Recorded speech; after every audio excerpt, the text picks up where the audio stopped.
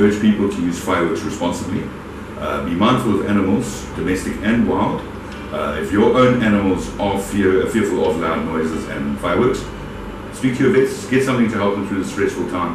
Lock them away for the night, keep them safe, and we will be out on patrol and having uh, keeping a lookout for animals who end up in stressful situations.